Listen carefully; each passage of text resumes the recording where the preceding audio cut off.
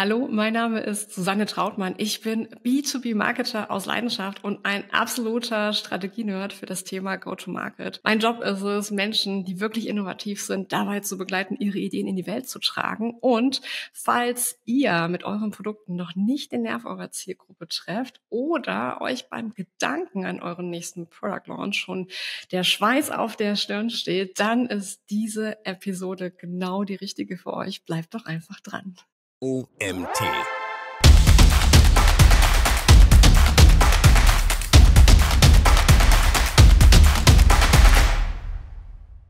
Hallo Susanne, ich freue mich, dass du da bist. Susanne, wir reden heute über Produktlaunches. Produktlaunches sind so in puncto Vermark Vermarktung häufig sehr komplex, fressen viele Ressourcen. Jetzt habe ich deinen Vortrag gehört bei der Campix und zwar zu dem Thema Marketing Canvas Modell.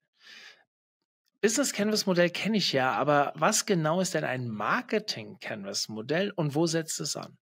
Ja, das ist äh, eine sehr coole Frage, Mario, denn das Marketing Canvas setzt genau da an, wo das Business Model Canvas aufhört. Denn ich weiß nicht, ob du dich auch schon mal gefragt hast, was mache ich denn, wenn der Prototyp fertig ist, wenn diese Geschäftsidee steht? Wie trage ich dann meine geniale Idee in die Welt? Und das ist genau dieser Pain, den ich mit dem Marketing Canvas löse. Ich helfe quasi innovativen Teams, den Nerv der Zielgruppe zu treffen und zu kommunizieren, was sie da eigentlich gebaut haben, warum und für wen und warum brauche ich das. Auf dem Weg zum Product Market Fit brauchst du halt guten Content. Und ähm, ich habe so beobachtet, dass das Thema Strategie so unangenehm ist wie ein Zahnarztbesuch für ganz viele Menschen. Man versucht es zu vermeiden, denn es gibt irgendwie nichts Schlimmeres, als zwei Tage mit äh, Menschen in einem Meetingraum zu verbringen. Man ist vielleicht schlecht vorbereitet und danach passiert auch nichts. Und das muss ja nicht sein. Also angenommen, das könnte ein ganz ähm, spaßiger Prozess sein, der kurzweilig ist und gut strukturiert. Und das versuche ich mit dem Canvas-Modell zu schaffen, weil Canvas-Modelle sollen uns ja Klarheit bringen, komplexe Probleme in kleine Scheibchen lösen. Das macht ja auch das Business Model Canvas. Es zeigt dir die Stellschrauben für eine Geschäftsidee. Das Marketing Canvas zeigt dir die Stellschrauben auf dem Weg zum Product Market Fit.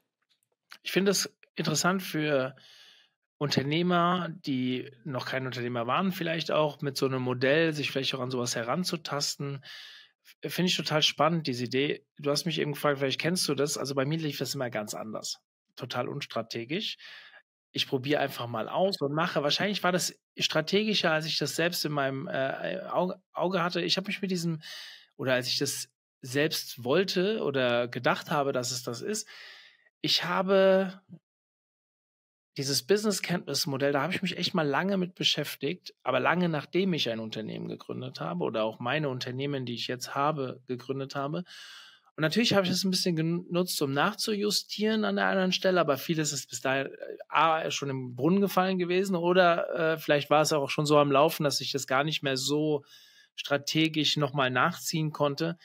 Ich, ich, ich weiß nicht, man kann es immer irgendwie ein bisschen, aber ich bin eher so dieses äh, nicht Role Model, Anti-Role Model, glaube ich, hierfür. Aber ich finde das Modell gut. Und deswegen wollte ich das auch unbedingt hier im Podcast haben.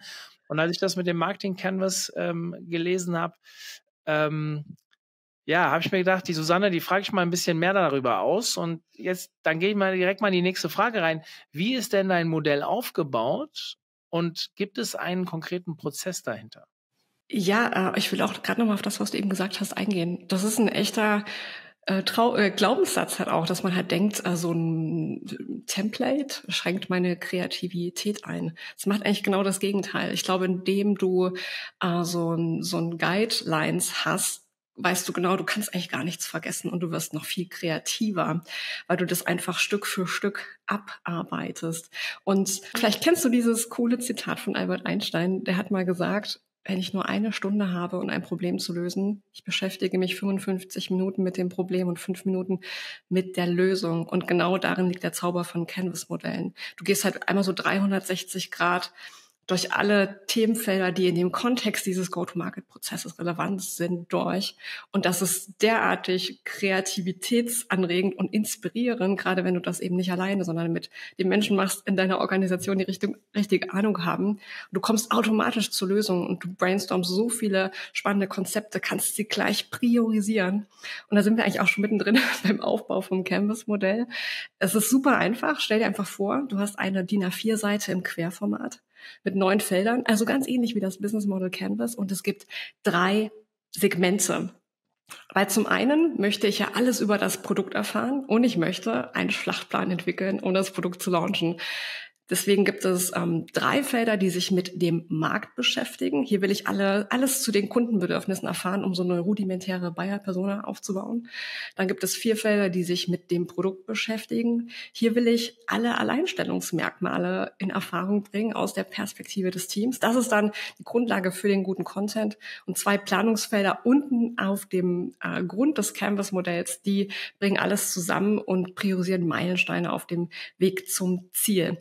Mein Canvas-Modell hat aber noch eine ganz noch eine Besonderheit, denn wenn du dieses Gespräch führst mit äh, deinen internen Experten, dann wird so viel tolle, tolle Ideen werden da zum Tage kommen. Die passen ja gar nicht alle auf eine DIN A4-Seite, außer mit Schriftgröße 2 vielleicht, aber dann hast du halt diese Klarheit, die ein Canvas-Modell bringen soll, halt nicht erzielt. Also habe ich Raumfelder geschaffen. Zu jedem Feld gibt es quasi so einen digitalen virtuellen Raum, den du erstmal durchläufst. Das heißt, du durchläufst diese neuen Felder nacheinander wie so eine Reise und am Ende packst du die Quintessenz auf die erste Seite.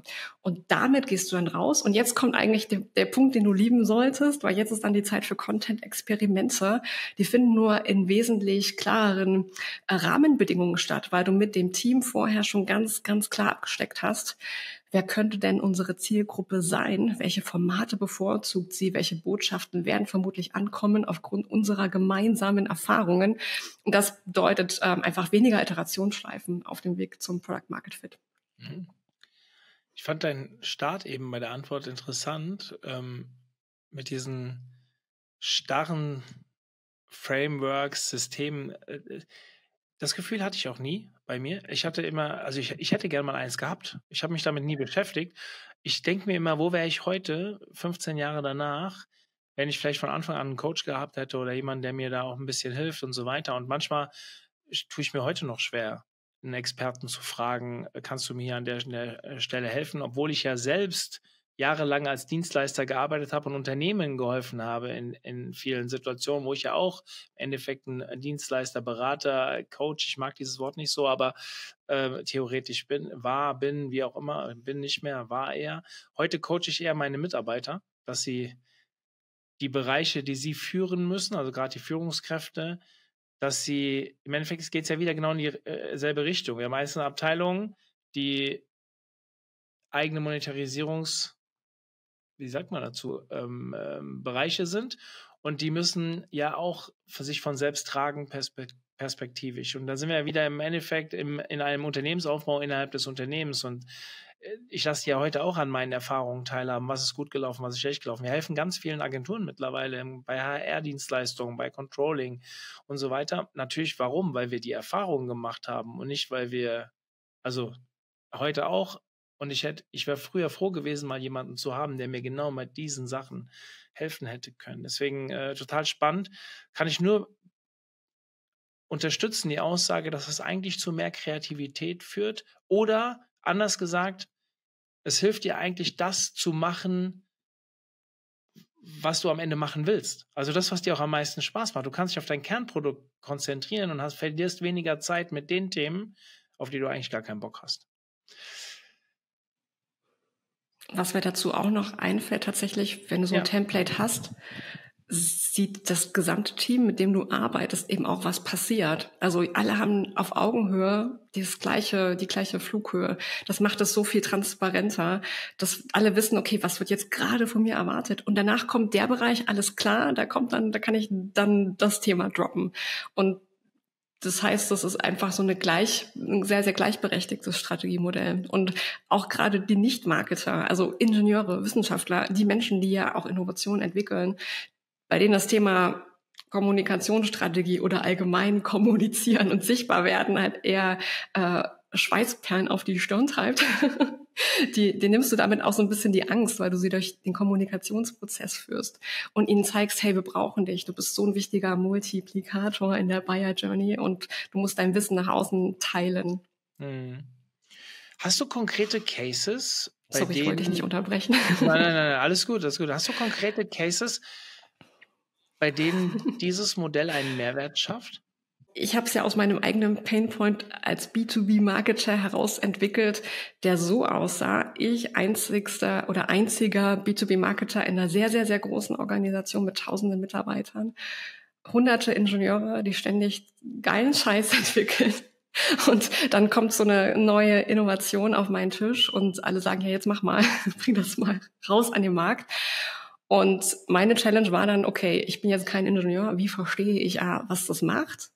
Wofür das was macht, äh, wer die Zielgruppe ist, an welche Kanäle ich das bringen kann. Und mir wurde dann klar, ich muss einfach meine ja nicht Marketer-Kollegen zu Mitstreitern machen auf dem Weg dahin. Und ich muss sie halt ähm, instrumentalisieren, wie ich es eben gesagt habe, als Multiplikatoren. Also für diesen Case ist es besonders gut geeignet, wenn du richtig schnell sehr, sehr äh, fundierte Ergebnisse brauchst. Also ich gehe nämlich davon aus, dass das Wissen immer schon da ist in der Organisation, nur wir reden viel zu wenig miteinander. Und ich gehe auch davon aus, dass wir viel zu viel reden, wenn wir denn dann reden. Also gerade im B2B, wir neigen dazu, die Leute mit viel zu viel Details zu überfordern. Und es reicht ja eigentlich dieser eine Tropfen, der so quasi das was zum Überlaufen bringt. Und wir holen immer die Gießkanne raus. Und deswegen denke ich, es braucht diese eine magnetische Botschaft, die du für deine Go-to-Market-Strategie identifizierst und auch variierst über alle Kanäle hinweg, die dann wirklich konsistent ist. Alles andere, das können die Kollegen dann später im eins zu eins Gespräch mit den äh, Interessenten handeln. Also das wäre der normale Use Case und in einer perfekten Welt würde natürlich kundenzentriert äh, Innovation betrieben werden mit allen Abteilungen in einer Organisation von Anfang an zusammen, so dass man diese geballte Expertise auch schon in der Produktentwicklung nutzt. Aber da sind wir, glaube ich, noch nicht bei so einigen Organisationen im Industriegütersektor. Ich glaube, perfekte Welt, die werden wir eh nie erreichen. Aber gut, Wann ist der richtige Zeitpunkt für die Durchführung, beziehungsweise welche Voraussetzungen sollten denn gegeben sein? Also der richtige Zeitpunkt äh, in einer idealen Welt hättest du noch so, weiß nicht, zwei bis drei Monate Zeit. Das wäre natürlich klasse, weil du willst ja so ein paar strategische Touch Touchpoints aufbauen und je nachdem, wer die Zielgruppe ist und wie hochpreisig dein Produkt ist, könnte das ja auch ein bisschen intensiver sein. Aber das sollte reichen, zwei bis zwei bis drei Monate wären super. Und dann begleitet dich das Modell in dem Launch-Prozess und idealerweise triffst du dich dann auch regelmäßig während des Launch-Prozesses mit allen Kollegen, die beteiligt sind und nutzt das Modell als Wissensspeicher, um einfach auch das ganze Feedback aus dem Markt zu dem Content, den du da rausgehauen hast, auch wiederum äh, zu verwalten und daraufhin besser zu werden. Zum Beispiel Fragen, die aufgrund deines Contents aus der Zielgruppe kommen, sollten halt irgendwo in einem FAQ-Fragebogen äh, gesammelt werden, der auf einer Landingpage im Futterbereich zu finden ist beispielsweise damit alle davon lernen können. Wie funktioniert dieses Marketing Canvas für dich am besten? Live oder remote? Also es funktioniert sowohl live als auch remote. Wichtig ist, dass die richtigen Menschen dabei sind. Also genau die Menschen, die das Wissen besitzen und dieses Thema voranbringen wollen und müssen. Und das gerade in größeren Organisationen hast du globale Teams und die sind über die ganze Welt verteilt, über verschiedene Zeitzonen. Und dann ist es halt einfach genau das richtige Tool, um sehr, sehr punktuell die wichtigsten Informationen einzuholen und ein gutes Gespräch zu initiieren. Machst du das live, weil alle vor Ort sind, hast du natürlich als äh, quasi Marketing-Team die Chance, alle auch persönlich kennenzulernen. Ist auf jeden Fall nochmal besser, weil dann hast du deine Mitstreiter einmal um dich herum versammelt und es ist dann leichter, auch im Go-to-Market-Prozess, die dann aktiv einzubinden.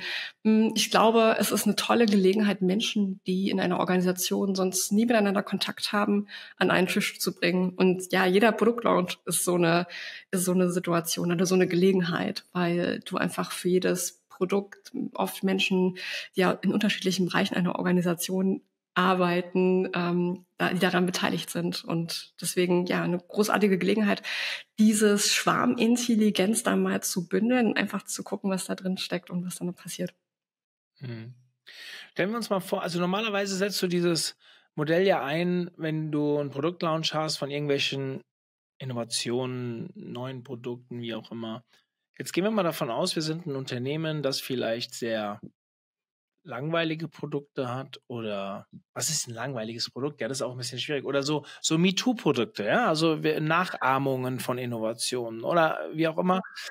Ähm, funktioniert da das Canvas-Modell auch? Also es funktioniert für B2B und B2C und Innovation und MeToo-Produkte. Worum, worum es ja grundsätzlich geht, ist dieser Gedanke, dass der Product Market Fit zerbrechlich ist. Hast du den einmal erreicht, kannst du den immer wieder verlieren, weil da draußen können eine Milliarde Dinge passieren und passieren auch jederzeit, die dafür sorgen, dass deine Zielgruppe vielleicht doch was anderes kauft. Und die Frage ist, wie kannst du das irgendwie auf einem Radar, diese feinen Stellschrauben tracken und reagieren?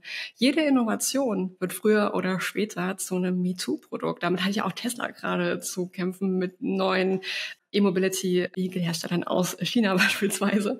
Fakt ist, wenn eine Innovation zum MeToo-Produkt wird, dann ist es umso wichtiger, dass wenn du dich nicht mehr über Product Features und nicht mehr über Product Features Alleinstellungsmerkmale findest, dann musst du zur Love Brand werden. Dann musst du einfach mit dem Menschen in deinem Team arbeiten. Und in dem Canvas gibt es tatsächlich einige Felder, die gerade emotionale Faktoren ansprechen, weil ich festgestellt habe, dass B2B so ein Problem hat, dass nicht nur alle Logos auf blau sind, sondern eben äh, die B2B-Brands eben auch sehr unemotional äh, auch zum Lachen in den Keller gehen und die Menschen, die die Produkte entwickeln, sind die größten Alleinstellungsmerkmale. Das vergessen wir nur leider sehr oft. Und deswegen einfällt im Canvas heißt der unfaire Vorteil ein Feld, mit dem viele Teams echt große Probleme haben, das auszufüllen, weil ich sie dann gezielt danach frage, was macht euch denn besonders?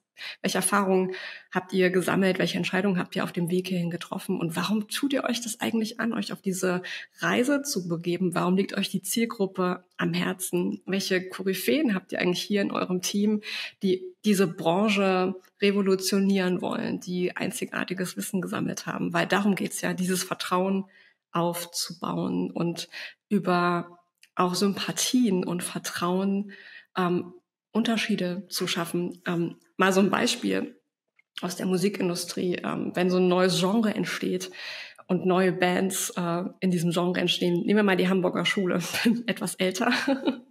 und da gibt's so Bands wie Blumfeld und Tokotronic. Und beide sind total gut, schreiben unglaublich coole Songs, sind live eine Wucht, haben tolle Sänger etc. Dann ist es eine Frage einfach auch der Sympathie, wer vielleicht witziger ist oder wer, wer, welche Brand Personality dir mehr liegt und wo du mehr mit andocken kannst. Je offener du wirst, auch als Marke, je mehr du zeigst von deinen Werten, von deinem Warum und die Menschen mitnimmst, dich öffnest und auch eben den Mitarbeitern eine Bühne gibst, ihre Motivation zu teilen, desto stärker kannst du auch als als MeToo-Brand äh, in einem, ja, dich abheben in einem, äh, sag ich sag mal, Sea of Sameness, in dem viele B2B-Marken sich bewegen. Gehen wir mal davon aus, du hast einen Neukunden oder einen Coach, der sich mit diesem Modell beschäftigt hat, einen Neukunden. Und ich nehme an, das ist erstmal ein bisschen Workshop-basiert. Man muss das ja zusammen erarbeiten. Könnte ich mir jetzt vorstellen, dass das so läuft. So lief das bei mir früher immer, wenn ich das mit Unternehmen gemacht habe. Problem hier, es ist ja eine Momentaufnahme. Ja, also wir machen diesen Workshop, wir machen vielleicht ein Audit des aktuellen Status quo in der Firma. Wie schafft man das denn im Anschluss, deiner Meinung nach, diese crossfunktionale Kollaboration im Alltag am Leben zu erhalten und den Fokus auf die Zielgruppe nicht andauernd wieder zu verlieren? Du hast ja auch von dieser Gebrechlichkeit gesprochen vorhin. Das wird mich doch, da würde ich gerne mal ein bisschen tiefer reingehen. Das ist, glaube ich, jetzt wird's psychologisch, Mario, weil wir Menschen sind halt echt Gewohnheitstiere. Und wir müssen Dinge einfach immer wiederholen. Und je weniger schmerzhaft etwas ist und je größer die Vorfreude auf so eine Wiederholung, weil es eben auch so ein Erfolgserlebnis gibt, desto äh, größer die Wahrscheinlichkeit. Und ich glaube, so Canvas-Modelle sind perfekte Tools, um gute Gewohnheiten zu installieren in diesen, in diesen Prozessbereichen. Weil die größte Challenge ist doch eigentlich, wenn du dich regelmäßig auch so zu Recap-Meetings mit einem Team zusammensetzt, schnell alle abzuholen und herauszufinden, okay, und wo sind die größten Probleme, wie machen wir jetzt weiter? Mit so einem Canvas-Modell hast du deine Agenda quasi immer ready. Also die ist quasi immer up to date, weil es begleitet dich ja. Und du bist innerhalb von drei bis fünf Minuten hast du alle abgeholt und ihr könnt direkt in die Tiefe tauchen. Weil das ist das Großartige bei einem Canvas-Modell. Du hast das Big Picture und das Detail kombiniert. Du hast die, quasi die, du siehst alles im Kontext und dann kannst du einmal auch ganz tief reingehen nach Bedarf, wenn einer der Experten eben einen Kommentar hat. Und das macht es zu dem perfekten Begleittool für Strategieprozesse. Hast du halt einmal mit einem Team so diesen ja, ganzen Horizont abgearbeitet und alle 360 Grad Informationen eingesammelt, äh, dann ist es so leicht, da up-to-date zu bleiben und einfach das Tool selber als Grundlage für Meetings zu benutzen. Das kann funktionieren. Vor allem, wenn du es zu deinem Canvas-Modell machst. Weil das ist, glaube ich, der geheime Trick, würde ich sagen, dass du dieses Template nutzt und dich selber damit challenged. Passt dieser Prozess für mich? Fehlt mir da irgendwas? Möchte ich vielleicht, weil ich eine andere Tonalität in meiner Organisation benutze, äh, den Namen eines Feldes ändern. Mach's zu deinem Tool und füg vielleicht auch noch was rein, was für dich wichtig ist. Und dann fühlt es sich auch an wie dein Prozess. Und dann ist es nichts, kein, kein Fremdkörper mehr, sondern einfach nur ähm, ja etwas, an das du alles andocken kannst, was schon da ist. Wie schaffst du mit diesem Modell eine gemeinsame Flughöhe, so dass allen Beteiligten klar wird, was zu tun ist und wo die Reise hingeht. Also dass wir alle an einem Strang ziehen, dass wir Du weißt, glaube ich, worauf ich hinaus will. Ja, das ist ähm, so, also hier kann ich, glaube ich, mal ganz gut beschreiben, wie ein Canvas-Modell eigentlich funktioniert. Denn alle Strategiemodelle, die keine Canvas-Modelle sind, die sind linear. Also das bedeutet, du hast im Worst Case 300 Seiten PowerPoint oder so, die du mit deinem Team in so einem zweitägigen Meeting mühevoll dir anschaust und du weißt nicht mehr, was am Ende auf der ersten Seite steht. Und unser Gehirn ist unglaublich leistungsfähig. Also du kannst mehrere Dinge gleichzeitig machen, ich auf jeden Fall. Das ist auch meine größte Challenge manchmal. Und unser Gehirn ist langweilt sich super schnell. Unser Gehirn liebt es aber, Vorhandenes und neue Informationen zu verknüpfen und so die Synapsen richtig zum Glühen zu bringen. Und genau das machen eben Canvas-Modelle. Du ordnest ja die Informationen über, unter und nebeneinander an. Informationen bekommen auf einmal einen Kontext. Die stehen eben nicht mehr linear, sondern wirklich äh, nebeneinander auf einer Seite. Wie bei einem, wie bei einer Mindmap, so ungefähr. Und deswegen, also Mindmaps sind ja total klasse Tools, um schnell Wissen aufzuzeichnen und auch, wie es sich zueinander verhält.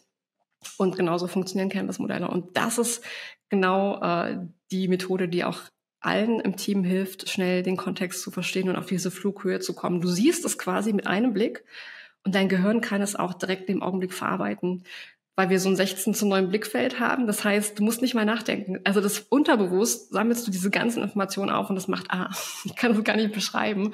Und vor allem, wenn diese Informationen nebeneinander auch in Boxen stehen, dann springen auch die Gedanken hin und her oder du hast dann auf einmal ganz neue Ideen, auf die du sonst nicht gekommen wärst, weil du es noch nie so einfach aufgebrochen auf einer Seite gesehen hast. So ungefähr würde ich es beschreiben, aber das ist jetzt nur meine persönliche Erfahrung in der Arbeit mit Canvas-Modellen.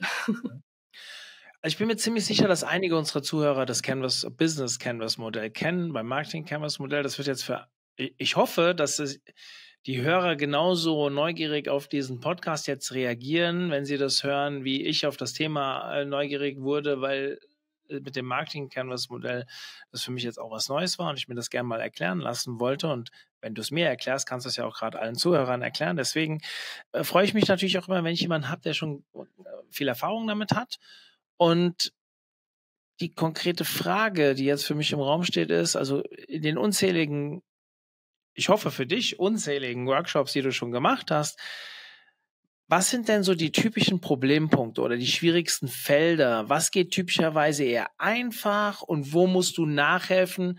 Vielleicht sogar mal den Finger ein bisschen tiefer reinbohren, weil es vielleicht auch unangenehm wird.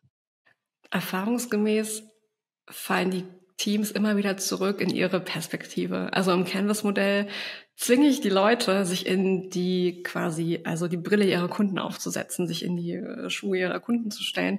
Und sie vergessen aber zwischendurch immer wieder die Kundenperspektive. Das ist das eine. Aber alles, was auch eher ähm, was was was nicht materiell greifbar ist, wird schwierig. Also B2B-Organisationen können super gut einen funktionalen Mehrwert eines Produktes beschreiben. Das alles, was messbar ist, kein Problem. Tausend Dinge werden dir einfallen. Aber dann diesen emotionalen Mehrwert zu beschreiben, was macht das denn mit deiner Zielgruppe, wenn das Problem gelöst ist und auf einmal alles so viel höher, schneller weiter funktioniert. Oder am allerschwierigsten, wohin führt sie das denn in der Zukunft, wenn sie dein Produkt Monate, Jahre lang einsetzen? Wozu befähigt sie das? Zu etwas, was sie noch gar nicht auf dem Radar haben, so kreativ zu werden, dass man anfängt, auch Geschichten zu erzählen, die emotional werden. Damit haben Teams echte Schwierigkeiten. Tatsächlich, also da wirklich sich dafür zu öffnen und zu weiten und dieser unfaire Vorteil, auch sich selber zu begreifen als äh, ein ganz, ganz wichtiges ja, Erfolgstool im Werkzeugkasten, dass sie eben nicht austauschbar sind, dass jeder besonders ist und es jeden einzelnen dieser Experten braucht, dass jeder Einzelne auch kreativ werden darf. Was kann ich tun? Ähm, kann ich vielleicht in einen Podcast gehen, so wie wir beide jetzt miteinander sprechen? Kann ich auf einer Fachkonferenz über das Thema sprechen? Was kann ich tun, um über meinen Schatten zu springen? Weil dieses Wissen, was ich habe, da bin ich die einzige Person im Team und ich muss dem Team damit helfen. Das macht das Canvas vor allem deutlich. Also jeder bekommt eine Rolle. Es ist dieses Verständnis, Kommunikation ist nicht Marketingaufgabe. Wir alle kommunizieren und auch, ja, ich weiß nicht, der Vertriebsmitarbeiter kommuniziert genauso wie der Entwicklungsingenieur, wie der Marketer, wie die Person im Customer Service. Alle kommunizieren nach außen, alle sind für das Produkt verantwortlich, alle arbeiten Hand in Hand und müssen auch gemeinsam Entscheidungen treffen. Das ist, glaube ich, der größte Aha-Effekt. Und ähm, das wird mit jedem Durchgang dann auch leichter. Also die, ich habe ja das Canvas-Modell tatsächlich auch wirklich on the job mit äh, meinem so in einer, in, einer großen Industrieorganisation entwickelt. Und ich habe gemerkt, wie schnell meine Kollegen gelernt haben, wie leicht es auf einmal für sie wurde zu begreifen, okay, ich brauche einen LinkedIn-Account, äh, ich muss sichtbar werden, ich muss auch mal darüber sprechen, was ich hier eigentlich mache und warum ich das mache. Und ja, ich darf auch äh, auf Kommentare in, in einem Social-Media-Post, die ein Kunde hat, reagieren. Das muss nicht nur die Marketingabteilung machen. Das ist halt, das ist halt der Zauber, wenn man merkt, dass ähm, auf einmal ja eine ganze Organisation mitarbeitet. Und das macht es eben auch für B2B-Marketing dann wirklich möglich, Impact zu leisten, weil du hast oft sehr, sehr kleine Teams, wenn du überhaupt äh, Marketingverantwortliche hast. Und die brauchen einfach auch diese Hilfe. Und gleichzeitig gibt es keine authentischere Hilfe als die der Kollegen, die selber ihre Rolle als Kommunikatoren wahrnehmen. Hm. Kann man sagen, dass das Marketing Canvas Modell quasi die Grundlage der kompletten Marketingstrategie eines Unternehmens ist? Es könnte das sein, aber ich habe es nur auf das Thema Innovation ausgelegt, weil meine eigentliche, ich verrate dir jetzt, meine eigentliche geheime Mission, aber es muss unter uns bleiben, ist eigentlich dafür zu sorgen, dass B2B-Marketing mehr Wertschätzung erhält, dass B2B-Marketer mehr Ressourcen erhalten. Und ich habe mich gefragt, welche Cases gibt es, in denen eine Organisation bereit ist, Marketing das Ohr zu schenken. Und mir war klar, wenn eine Innovation auf den Markt gebracht wird, das ist ein Moment, in dem alle bereit sind, sich mal in ein Meeting mit dir zu setzen, in dem du wirklich was bewirken kannst. Und das, äh, genau deswegen äh, das Marketing Canvas. Aber du kannst es auch in einem größeren Kontext anwenden, aber starte doch am besten kleiner mit einem einzelnen Produkt, mit einem einzelnen Launch. Das ist viel leichter. Du hast nur eben auch davon geredet, ja, äh, du brauchst einen LinkedIn-Account oder wie auch immer. Ich glaube, das äh, so ein Modell ist ja erstmal ein bisschen theoretisch. Und wir wollen es ja relativ schnell in die Praxis bringen. Und wenn man jetzt hört, Marketing Canvas Modell, du sprichst von Content Marketing, Content Marketing, also setzt da an, wo das Business Canvas Modell aufhört und dann hast du vor allem sehr schnell bist du auf das Thema Content Marketing gekommen, wenn ich das vom Anfang des Podcasts äh, noch richtig in Erinnerung habe. Und für mich ist als von Haus aus SEO ist ja Content Marketing auch ein wichtiger Bereich. Ich beschäftige mich aber auch viel mit LinkedIn Marketing, ist auch Content Marketing ein wichtiger Bereich. Und Content Marketing ist ja schon sehr breit und zahlt in sehr, sehr viele Online-Marketing-Disziplinen ein, egal ob ich Newsletter Marketing mache, ob ich Social Media Marketing mache, Inbound Marketing mache und so weiter. Deswegen geht es ja für mich auch so in der Richtung, jetzt bei dir produktbezogen. Ich habe denke dann immer gern direkt ein bisschen größer, weil ich dann denke, ja, wie kann ich das auf die ganze Organisation überstülpen? Ähm, aber es ist richtig. Fangt, wenn, gerade wenn etwas neu ist, fangt etwa, fangt im Kleinen an, guckt euch erstmal einzelne Themen an, ob das jetzt Innovationen sind oder neue Produkte oder vielleicht auch mal ein altes Produkt, was man neu auflegen will oder was auch immer. Ich glaube, das ist für alles relativ gut anwendbar. Und einen wesentlichen Punkt, den du eben genannt hast, also du hast eben viel über Kunden gesprochen. Und im B2B gibt es ja häufig, und ich habe da auf LinkedIn mal so eine Umfrage gemacht nach den typischen äh, Sprüchen in der Agenturwelt. Was da immer wieder sehr gerne kommt, ist, ja, entweder unsere Ke Kunden kennen uns oder wir kennen unsere Kunden. Aber die wenigsten Unternehmen suchen regelmäßig den Austausch mit ihren Kunden. Und das werfe ich denen eigentlich auch immer vor, weil man da halt so viele Informationen bekommen kann und fassen dann auch diese Erkenntnisse aus den Gesprächen so gut wie nie schon gar nicht strukturiert zusammen. Wie hilfst du Organisationen schnell, einfach oder langfristig an das richtige Kundenfeedback ranzukommen? Einen wichtigen Schritt im Marketing Canvas Prozess unterschlagen, um diese Frage zu beantworten, bringe ich dir mal ein. Wenn du dich mit deinem Team zusammengesetzt hast und dieses Canvas-Modell ausgefüllt hast, hast du ja eigentlich nur Hypothesen und Annahmen zum Verhalten deiner potenziellen Kunden auf dem Markt. Das ist schön und gut. Und ich sage, das muss jetzt mal getestet werden. Bevor du rausgehst, wäre es doch so einfach, jetzt mal mit der Zielgruppe zu sprechen.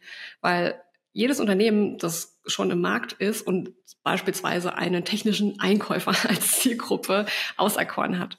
Nehmen wir mal an, im Bereich Luft- und Raumfahrt und das Produkt ist auch für diesen Bereich Luft- und Raumfahrt, dann könnte man ganz einfach auch mit bestehenden Kunden, zu denen man schon ein gutes Verhältnis hat, einfach mal einen Draht herstellen und dann einfach sagen, deine Expertise ist uns gerade unheimlich wichtig. Wir bringen ein neues Produkt, eine Innovation auf den Markt und wir glauben, mit deinem Wissen zum Markt kann es noch viel besser werden, dürfen wir dir ein paar Fragen stellen. Und alle Kategorien vom Canvas-Modell klärst du dann einfach in einem 30-minütigen Gespräch mit der Zielgruppe. Du findest heraus, hm, wie würde sie sich informieren? Welche Fragen würde sie vermutlich zu diesem Produkt haben? Wie nimmt sie den Wettbewerb wahr?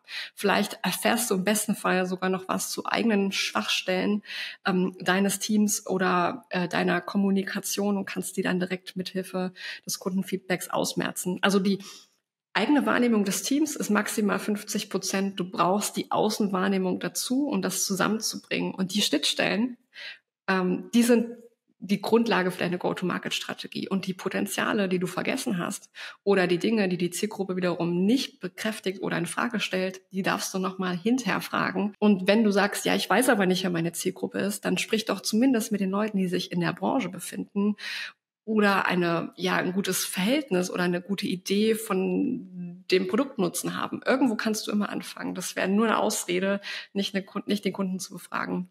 Aber du solltest Leute befragen, die vom Mindset her auch die sind, von denen du gerne mehr hättest, weil sie auch von den Werten sehr gut zur Organisation passen. Also mindestens drei, aber auch gern 20. Je mehr, desto besser. Genau, das ist auch Teil meiner Arbeit und ich glaube, es ist auch besser, wenn, wenn das jemand von außen macht. Du bist dann offener tatsächlich und redest auch offener über das Produkt und die Organisation, weil das ja eine dritte Person ist. Es ist äh, sehr, sehr unbefangen, das Gespräch. Mhm. Da, da komme ich äh, gern mit einem Thema um die Ecke. Also Ihr hört mal in den Podcast letzte Woche rein. Ja? Also wenn ihr dieser Podcast online geht, dann wird eine Woche vorher ein Podcast online gehen zum Thema Community Management. Und ich glaube, es ist total sinnvoll, sich mit so einem Thema zu beschäftigen, weil man nämlich im Nachgang, gerade wenn Kundenfeedback gebraucht wird, ein schneller Zugang zu diesem Feedback existiert, wenn man eine funktionierende Community hat. Im Idealfall sind es auch nicht nur Leute, die euch den Bauch pinseln, sondern auch gerade Leute, die euch auch ehrlich sagen, wenn etwas nicht so gut ist. Und in alle Richtungen. Das macht, glaube ich, eine gute Community aus, wenn man voneinander ähm, lernen möchte. Und ähm, ich werde das mal hier in den Shownotes auch verlinken. Wer Lust hat, nach dieser Folge sich da auch noch ein bisschen weiter reinzuarbeiten, ähm, hört euch das mal an. War sehr äh, abwechslungsreich und amüsant, diese Folge. Kann man sich anhören. Susanne. Merkung zu, super ja. wichtiges Thema, sich auch große Schnittstellen zu meiner Arbeit. Es gibt ein total cooles Paper zum Thema Community-led Growth, speziell für Markteintrittsstrategien, das äh, Professor Caroline Dorst und Ramona Grimm vor wenigen Wochen veröffentlicht haben. Vielleicht magst du den Link auch noch. Es ist ein frei verfügbares Paper in die Shownotes packen. Es ist richtig, richtig äh, erkenntnisreich. Sehr cool. Okay. Also suchen wir raus, wenn wir es nicht finden, fragen wir dich, wo wir es finden und dann stellen wir das sehr, sehr gerne auch in die Show Notes. Ähm, sowas kann nur weiterbringen. Zwei Fragen habe ich noch. Kein Podcast ohne AI. Das Thema momentan, das glaube ich alle umtreibt. Ähm, ich frage dich jetzt mal ganz direkt, unverblümt. Braucht man Templates wie dieses in Zeiten von JetGPT überhaupt noch? Ich hoffe, dass du meine Antwort verkraften kannst. Ich sage nämlich ja, mehr denn je. Okay. Ich habe nämlich das Gefühl, dass dass wir manchmal dazu neigen, ähm, etwas zu früh äh, uns auf die KI auch zu verlassen. Und ich bin ein ganz starker Verfechter, gerade in Go-to-Market-Prozessen, das wäre es die Human Intelligence abholen, um für die KI mehr Kontext zu schaffen. Machen wir das nämlich nicht. Also haben wir nicht diese ganzen wertvollen Goldnuggets aus den Köpfen unserer Experten, die uns eigentlich einzigartig machen, sehe ich eine ganz große Gefahr für das, was gerade auch passiert. Seelenloser, austauschbarer, mittelmäßiger Content, der die Leute nervt und frustriert und langweilt. Also diese Hypersättigung an Content am Markt, die man eigentlich nur dadurch zerbrechen kann, dass man relevantere Inhalte wieder äh, erstellt, statt noch mehr Content. Und zu relevanteren Inhalten kommst du garantiert besser, wenn du der KI mehr Kontext gibt, auf Basis der sie arbeiten kann. Also das mein, mein klares Ja, Templates helfen da ungemein und mit einem Marketing Canvas im Background kannst du wahrscheinlich innerhalb von einer Stunde 50 coole Content-Ideen ähm, generieren für deinen Go-to-Market-Prozess, kannst die bei Persona weiter ausarbeiten. Ich sehe da so viel geniale Anknüpfungspunkte und du hast halt einfach ein strukturiertes Fundament, auf dem du aufsetzen kannst. Und du kannst immer wieder dich dieses Fundamentes bedienen und hast maximale Konsistenz. Also ich denke, das geht perfekt Hand in Hand tatsächlich. Wie, wie siehst du das? Also jetzt äh, macht doch total Sinn, oder? Ja. Wie ich das jetzt also, habe. Ähm, ich oute mich hier immer wieder, dass ich gar nicht so tief in dem KI-Thema äh, KI drin bin, wie äh, ich sein sollte bin froh, dass meine Mitarbeiter sich sehr viel damit beschäftigen, um die Prozesse effizienter zu machen. Wir als Plattform bieten ja quasi eher die Grundlage für Experten, die KI haben, um das hier auch breitzutreten und so weiter. Aber ja, natürlich müssen wir uns in einzelnen Punkten auch damit beschäftigen. Ich verkrafte deine Antwort sehr gut sogar, weil ich nämlich auch hier intern so ein bisschen der Verfechter bin. Leute, einmal mehr drüber nachdenken kann auch helfen. Auch um vielleicht das effiziente Hilfswerkzeug KI besser zu bedienen. Und dass da einfach noch bessere Ergebnisse rauskommen. Frei nach Shit in, Shit out und so, ja. Also äh, mehr nachzudenken. Ähm, ich halte das auch total, ich finde die Entwicklung total äh, cool. Also ich gehöre nicht zu denen, die Angst davor haben oder es verurteilen oder wie auch immer. Mir fehlt die Zeit, mich richtig tief reinzuarbeiten, bin aber jedem empfehlen, nicht meckern, versucht euch in den Driver Seat zu setzen und das zu lernen. Aber wenn ihr es richtig lernt, versteht ihr auch relativ schnell, wo es sinnhaft ist, selbst mehr darüber nachzudenken, bevor ihr das Werkzeug nutzt, damit es noch effizienter für euch wird. Und dann gibt es da ganz, ganz tolle Anwendungsgebiete. Ich glaube, das gilt einfach für alles. Ich stelle die Frage trotzdem immer gern provokant, weil ja jeder auch so einen anderen Blick auf die Materie hat und äh, der manche, manche haben auch Angst davor, das hat man immer wieder. Manche, keiner gibt so gerne zu, aber es ist ja doch eine Entwicklung, die sehr schwer in der Geschwindigkeit auch aufnehmbar, auch sehr breit in vielen Bereichen. Ich war letztens auf einem Festival, letztens schon wieder April, äh, schon wieder ein bisschen her, aber oder März sogar, aber da ging es um Food, Logistik und so weiter. Und ich dachte, wir sind weit im Thema KI boah, ich habe dann eine Panel-Diskussion gehört, da habe ich mit den Ohren ge gewackelt. Also das war wirklich, da habe ich gedacht, wir, wir sind hinten dran und da sind andere Bereiche viel, viel weiter als wir. Und wahrscheinlich ist es auch so. Aber ich würde trotzdem immer raten, genauso wie ich jedem, für, für jeder Führungskraft rate, alles mal selbst gemacht zu haben, also auch jeden Job mal selbst durchgeführt zu haben von seinen Mitarbeitern, damit man seinen Mitarbeiter A besser hinterfragen kann, B auch besser helfen kann macht es Sinn, auch bevor man die KI einsetzt, es auch mal selbst alles versucht zu haben und sich dann von der KI maximal helfen lässt. Also vielleicht noch besser zu werden, aber ich glaube erstmal, äh, ich glaube, es dauert noch lange, bis die KI eine echte KI wird und sich dann auch selbst weiterentwickeln kann und bis sie so gut wird, dass sie uns Menschen wirklich übertrifft. Also ich glaube, dass die Genauigkeit, die Geschwindigkeit und so weiter jetzt schon uns hilft, besser zu sein oder auch besser ist als Menschen. Aber ich glaube, dass die kreative Leistung. Aber vielleicht will ich es auch noch nicht anders wahrhaben.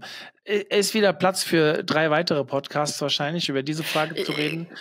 Aber ja. Ja.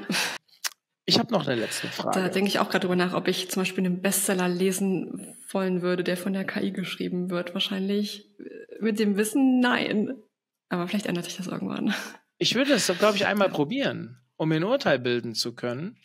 Aber ja, es gibt ja auch manchmal Schriftsteller, die man eigentlich, die man mag. Aber dann kommen wieder die anderen. Also ich kenne jemanden, der schreibt äh, schon seit, der arbeitet schon seit acht, neun Jahren mit den Themen, ähm, so lange Large Language Models und so lange bevor JetGPT auf den Markt kam.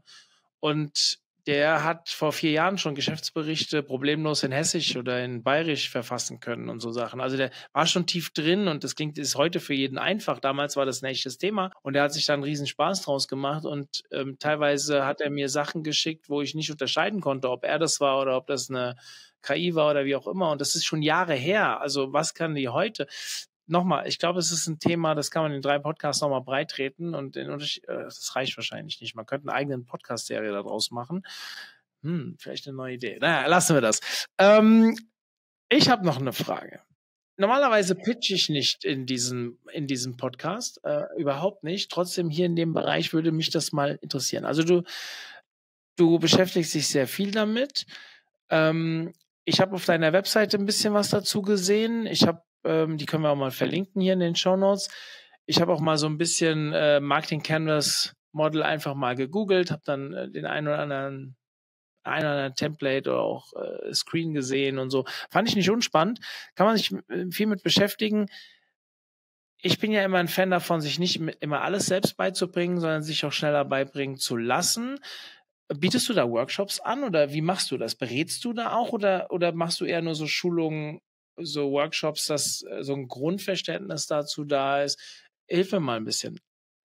Äh, ja, sowohl als auch. Also ich war ja fast mein gesamtes Leben lang einfach ein ganz regulärer B2B-Marketer, hands-on, operativ tätig. Und irgendwann, um mein eigenes Seelenheilat irgendwie auch zu retten, habe ich gedacht, das, was ich jetzt hier gelernt habe, das darf ich bitte nicht für mich behalten, weil wenn es bei mir so gut funktioniert, dann auch bei anderen Marketern. Und ich weiß, dass viele B2B-Marketer ganz, ganz ähnliche Probleme haben. Das war für mich die Motivation zu sagen, okay, ich gehe raus mit dem Modell.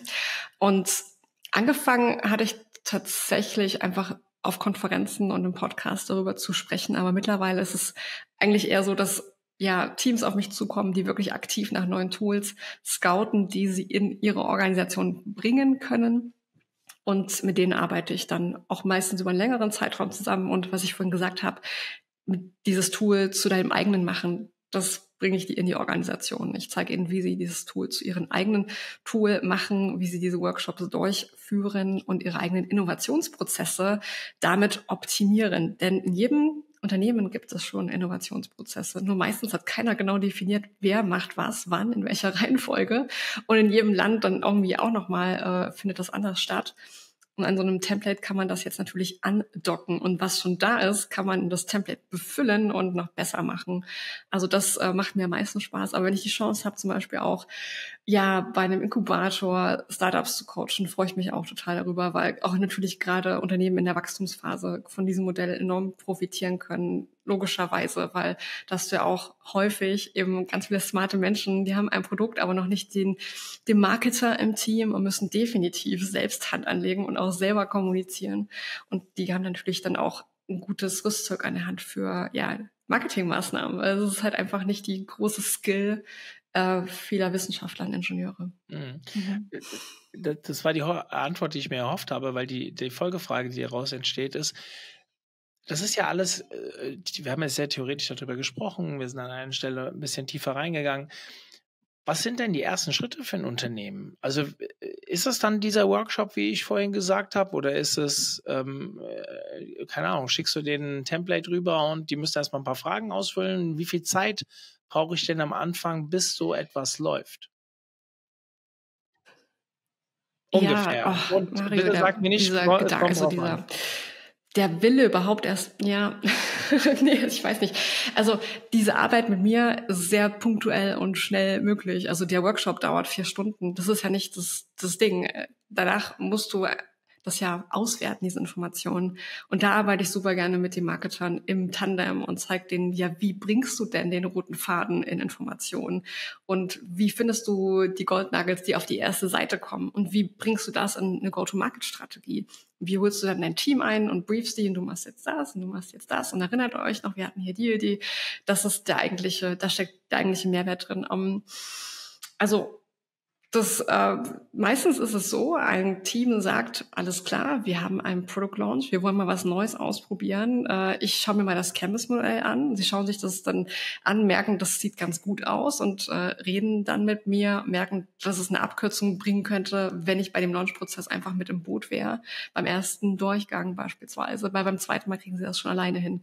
Mein Ziel ist ja, dass möglichst viele Menschen, Teams mit dem Modell arbeiten können, ohne mich, damit B2B-Marketing mehr Ressourcen für andere Jobs hat, damit B2B-Marketing wieder mehr gewertschätzt wird und Leute erkennen, das ist eigentlich das Team in unserer Organisation, das hier alle Fäden zusammenbringt und ein größeres Team sogar bräuchte. Und das hoffe ich damit zu bewirken. Mhm. Spannend. Ähm, ich bin am Ende mit meinen Fragen. Vielen Dank, Susanne, dass du dir die Zeit genommen hast und meine Fragen geklärt hast. Ähm, war schön, dich hier zu haben. Ja, sehr gerne.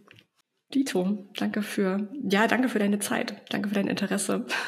Gerne, gerne. Zum Ende der heutigen Folge mit Susanne habe ich aber noch etwas, was ich an euch richten muss. Und zwar, wir sind in einer ganz wichtigen Zeit für den OMT. Warum? Unsere Agenda ist online gegangen für unsere Konferenz. Ihr wisst, unser Hauptevent äh, am 27.09. in Mainz dieses Jahr, äh, die Agenda ist online gegangen. Und in diesem Zuge möchte ich mal ein ganz dickes Danke loswerden, weil es haben sich über 200 Menschen mit Vorträgen bei uns beworben.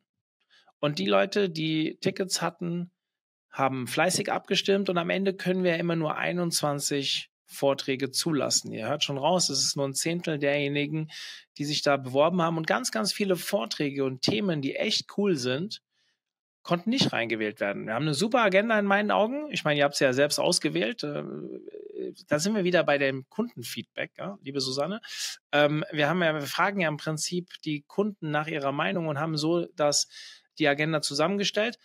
Aber, und jetzt kommt's, wir werden, wir haben im Juli wie ihr gemerkt habt, ein paar weniger Webinare angeboten als sonst. Das liegt einfach daran, dass wir auch mal Urlaub machen wollen, dass wir auch mal runterfahren müssen im Jahr, uns ein bisschen erholen müssen.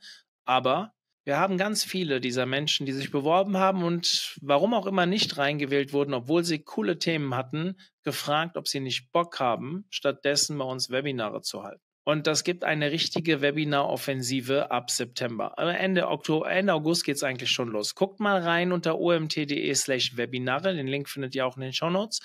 Die sind alle kostenfrei, wie ihr wisst. Also unsere Konferenz kostet Geld. Da geht es ja auch um mehr als nur Vorträge, auch Networking und Co. Da gibt es auch noch Tickets. Solltet ihr vielleicht auch nicht verpassen. Aber wenn es euch nur um Fortbildung geht, Webinar-Offensive 2024 wäre der perfekte Titel.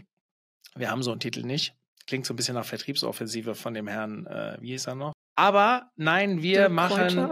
Dirk Kräuter, genau. Nein, wir machen eine Webinaroffensive und werden sehr, sehr, sehr, sehr viele Webinare anbieten den Rest des Jahres und hoffen, dass wir euch damit einen großen Gefallen tun und hoffen auch, dass ihr euch für viele dieser Webinare anmeldet, äh, gute Anmeldezahlen, so wie eigentlich immer, äh, auch verursacht und dass ihr das auch wertschätzt, wenn ihr darauf Bock habt oder bestimmte Themen euch fehlen. Unter info.umt.de könnt ihr mich auch anschreiben und wir werden dann auch versuchen, hier mehr auf euch einzugehen. Aber ich glaube, das wird richtig geil. Also omt.de slash Webinare. Schaut mal rein. Da passiert aktuell jede Woche was. Da kommt immer mehr dazu. Ich würde mich freuen, wenn ihr dabei seid. In diesem Sinne, wir sind raus. Bis dann. Macht's gut. Ciao, ciao.